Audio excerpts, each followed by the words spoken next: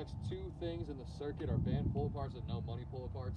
So just using the J band that you use for the J band series, uh, band pull aparts are going to be right in front of your chest, pulling across. Don't pull above your chest. Think right middle, right around mid chest.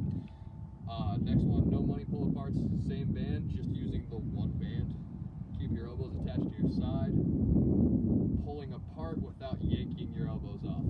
Should feel it burn your triceps and your back. Also,